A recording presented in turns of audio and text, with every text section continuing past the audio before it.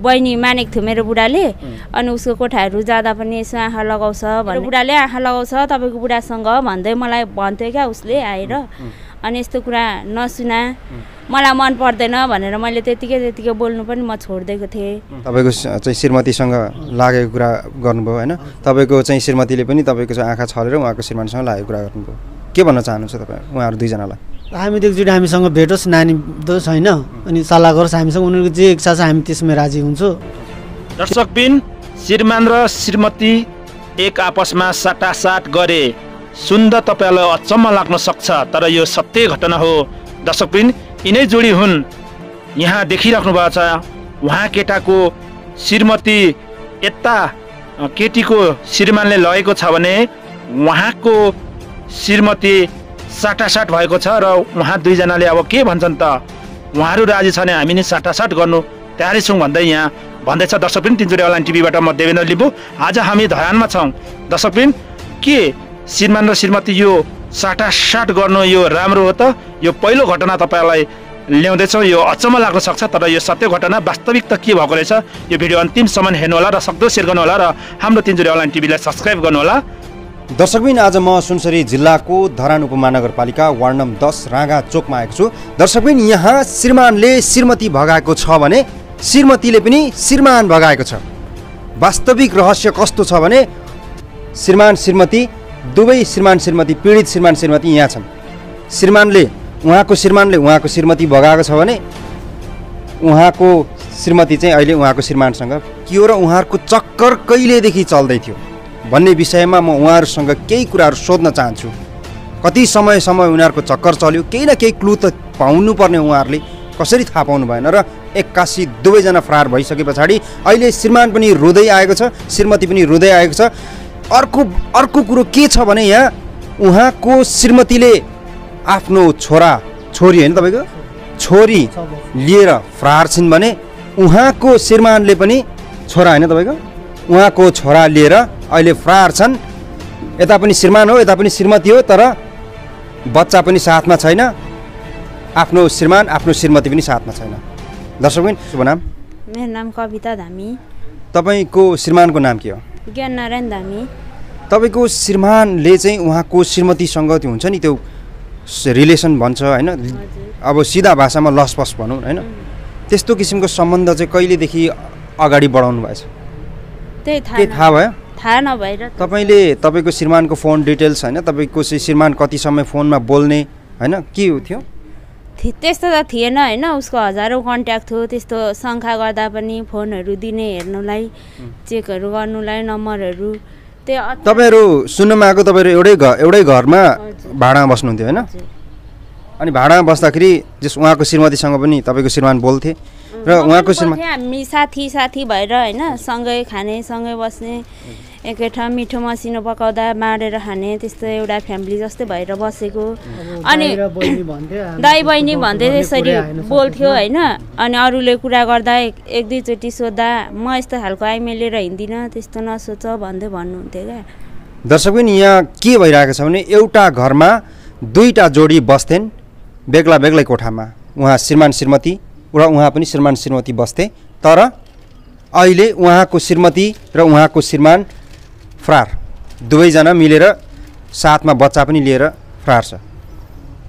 तपाईँको श्रीमतीको आनी बानी परपुरुषसँग हेलमेल साँठगाँठ कसरी चाहिँ उहाँले बढाउनु भयो त?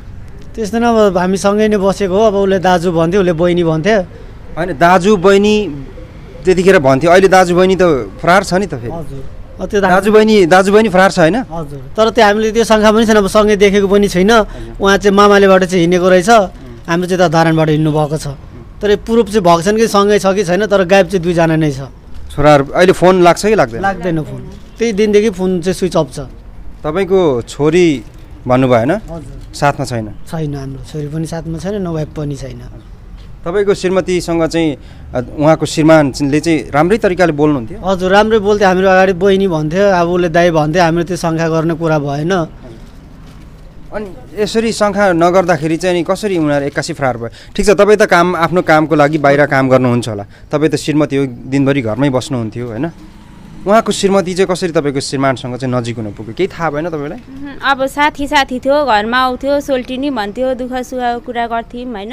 ज्वाइँले एकचोटि आँखा लगाउँदा पनि भन्यो भन्दै भन्थ्यो मलाई ज्वाइँले यसरी आँखा लगाउँथ्यो सोल्टिनी त्यस्तो नसोच्नु यस्तो ज्वाइँले भन्नाले? उसलाई ज्वाइँ भन्नु हाम्रो बहिनी ज्वाइँ मानेको हो। भनेपछि तपाईँको श्रीमानले चाहिँ उहाँलाई उहाँको श्रीमतीलाई आँखा लगाएको भन्ने कुरा चाहिँ तपाईँको उहाँको श्रीमतीले तपाईँले भन्नुभएको। भनेको थियो डाइरेक्टै उसले। अनि यसरी तपाईँले सोच्नु पर्थ्यो। तपाईँले सोच्ने कुरा हो तर मेरो बुढाले सोध्छ म यस्तो गर्दिनँ आफ्नै साथीभाइको घर बिगार्दिनँ भन्दै भन्थ्यो क्या उसले। अनि मलाई चाहिँ यस्तो यस्तो किन आँखा आँखा लाउँछ भनेर चाहिँ कुन कुन हिसाबले आँखा लाउँछ भन्नुभयो त उहाँले? अँ, यसो बोलो र ऊ कोठा उसको बहिनी मानेको थियो मेरो बुढाले। अनि उसको कोठाहरू जाँदा पनि आँखा लगाउँछ भन्ने खालको कुरा चाहिँ गरेको थियो मैले मसँग उसले। अनि मैले मलाई यस्तो कुरा मन पर्दैन हेर्छु नि। तेरो पनि घर व्यवहार छ मेरो पनि छ। मलाई यस्तो कुरा नसुना भनेर कस्तो कस्तो कुरा सुनाउनुहुन्थ्यो उहाँले? उहाँले चाहिँ त्यही त मलाई मेरो बुढाले आँखा लगाउँछ तपाईँको बुढासँग भन्दै मलाई भन्थ्यो क्या उसले आएर। अनि यस्तो कुरा नसुना। मलाई मन पर्दैन भनेर मैले त्यतिकै त्यतिकै बोल्नु पनि म छोडिदिएको थिएँ। मसँग बोल्दैन पनि थियो ऊ। त्यतिखेर तपाईँहरू सँगै बस्नुहुन्थ्यो उहाँ बोल बोलीचाली नै भइस तपाईँको बन्द भइसक्यो सरेको थियौँ शनि चोकमा सर्दाखेरि नि उसले आएर सर्नु चाहिँ कति टाढा सर्नु तपाईँहरू? नजिकै छ। नजिकै छ राङ्गाचोक र सँग तपाईँको शुभ नाम के हो?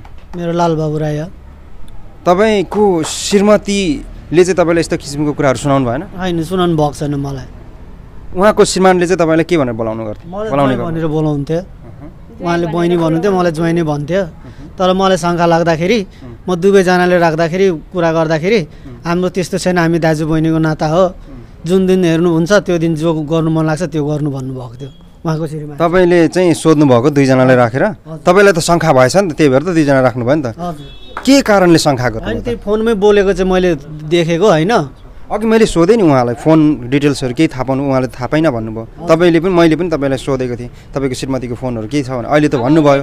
उनीहरू बोलेर अब नम्बर डिलेट हान्थ्यो होला है। अब बिहान छ सात बजे दोकान खोल्नुलाई ऊ जानुहुन्थ्यो। एकैचोटि बाह्र बजे खाना खाने टाइममा आउने अनि गइहाल्ने अनि बेलुका चाहिँ मलाई मोबाइल दिनुहुन्थ्यो क्या। तपाईँको श्रीमानको उमेर कति पुगेको? मेरो श्रीमानको उमेर त्यस्तै पुग्यो पैँतिस छत्तिस वर्ष। पैँतिस छत्तिस वर्ष भनेको त नि जवान मान्छे हो नि त होइन? लगभग बुढेसकालले छोएको मान्छे भनौँ न। तपाईँको श्रीमतीको उमेर चाहिँ कति पुगेको? चौबिस वर्ष हो। चौबिस वर्ष। तपाईँ चाहिँ कति वर्ष पुग्नुभयो अठाइस वर्ष। अहिले अठाइस वर्ष पुग्नु तपाईँ? म पनि अठाइस पुगेको। दर्शकबिन श्रीमान हो उहाँ श्रीमती हो दुवैजना पीडित छन्। उहाँले आफ्नो श्रीमान गुमाएको छ भने उहाँले आफ्नो श्रीमती गुमाएको छ साथमा छोराछोरी पनि छैन। र अर्को कुरो के भइरहेको छ भने उहाँले उहाँले चाहिँ आफ्नो श्रीमती चाहिँ उहाँको श्रीमानसँग लागेको कुरा चाहिँ उहाँलाई शङ्का गरिसक्नु भएको रहेछ उहाँले। शङ्का गरेर सोद्धाखेरि यस्तो छैन यस्तो हाम्रो कुनै पनि त्यस्तो किसिमको ना नाजायज सम्बन्ध छैन। जुन दिन थाहा पाउनुहुन्छ त्यो दिन हेर्नुहुन्छ भन्नुभयो आखिरीमा देखाएरै छाडे नि होइन? जुन दिन भेट्नुहुन्छ त्यो दिन हामीलाई जे गर्नु मन छ तपाईँहरूले त्यो गर्दा हुन्छ भन्नुभएको थियो उहाँको श्रीमान चाहिँ। तपाईँले चाहिँ कसरी त्यो फोन डिटेल्स चाहिँ कसरी थाहा पाउनुभयो? यस्तो बोल्दाखेरि नि जब फोन मैले मागेर अनि मलाई दिनुभएको होइन अनि हेर्दाखेरि म दाईको नम्बर देखेँ अनि यस्तो दस पन्ध्र मिनट जति बोलेको रहेछ अनि त्यसमा मलाई डोट लागेको। त्यो सोद्धाखेरि होइन भन्नुभयो क्या दुईजनाले। होइन तपाईँहरू एउटै घरमा बसेको मान्छे होइन? फोनमा दस पन्ध्र मिनट बोल्नुको काम के थियो त? अनि त्यही त उता सरेपछि चाहिँ बोल्नु भएको थियो यहाँ सँगै बस्दाखेरि त बोलेको थिएन फोन। तपाईँले फोन गर्नु भएन दाइलाई अनि दाइले नि बोलाएकै मैले। फोन गरेर बोलाएँ पनि होइन। के- भनेर बोलाउनु भयो उहाँलाई चाहिँ? तपाईँ के काम थियो र फोन गर्नुभएको थियो भन्दाखेरि त्यो हाम्रो त्यो एउटा पलङ गरिदिनु भएको थियो होइन दिएकोमा। पाँच हजार जति पैसा बाँकी थियो र त्यसको लागि चाहिँ फोन गर्नुभयो भन्दै थियो दाइले चाहिँ। ए अनि तपाईँले श्रीमतीलाई सोध्नुभयो के को लागि फोन गर्नुभयो भनेर? त्यही पलङकै बारेमा भन्नुभएको त्यही पैसाको बारेमा चाहिँ भन्नुभएको हामीलाई चाहिँ खासमा। अनि त्यस पछाडि त्यो पलङको बारेमा चाहिँ उहाँहरूले भन्दाखेरि चाहिँ तपाईँलाई चाहिँ कसरी शङ्का लाग्यो त? तपाईँको श्रीमान श्रीमती उहाँको चाहिँ श्रीमानसँग चाहिँ लागेको कुरा चाहिँ कसरी भयो त्यो शङ्का छैन हामीलाई अहिले पनि छैन। तर त्यो फोनमा बोल्दाखेरि नि अब किन तपाईँले त्यो फोन गर्नुभयो? म पनि थियो मलाई पनि भन्नु सक्नुहुन्छ पैसा छ भने तपाईँको आखिर जे बाँकी नै छ भयो भने मलाई पनि त भन्नु सक्नुहुन्थ्यो कि म भएको बेलामा नजिकै छु हामी टाढो छुइनँ भेटेर पनि भन्दा हुन्थ्यो भनेर नि। होइन तपाईँ हो त्यो सही कुरो भेटेर नि भन्दा हुन्थ्यो होइन? फोनमा अब ठिकै छ फोनमा पनि भने होला।